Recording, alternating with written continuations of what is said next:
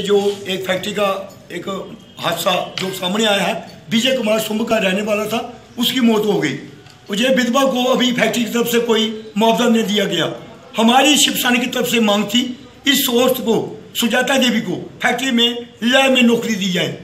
और ये जो बच्चे दो रह गए हैं, इनके बच्चों के लिए, भविष्य के लिए पाँच लाख की एफ़ बनाई जाए, ताकि ये बच्ची लड़की जो, जब बड़ी होगी इसकी शादी के लिए इस विधवा को दादा खज्जल ना होना पड़े।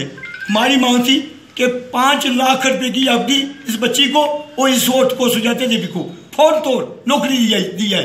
अगर फैक्ट्री वाले हमारी डिमांड को नजरदार करेंगे, जहाँ इसको नहीं सुनेंगे तो बहत्तर घंटे के अंदर अंदर हम ये मांग रखते हैं बहत्तर घंटे के बाद हमारी अपनी जो पार्टी है, शिवसेना, उसमें जो डिसाइड होगा, उसके लिए हम जो ना प्रदर्शन करेंगे।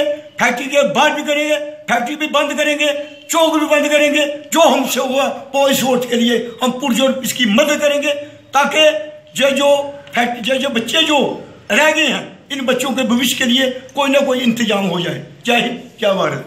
लेट श्री विजय कुमार की हूँ, जो अन्य प्रोडक्ट में स्टोर सुपरवाइजर थे। उनकी लंग्स की प्रॉब्लम्स के वजह से उनकी चौदह, ग्यारह, दो हज़ार सतारह को डेथ हो गई है। मैं बार बार फैक्ट्री से कंप्लेन करती है कि मेरे बच्चों को श्योरिटी दो, मगर उन्होंने कुछ भी नहीं किया।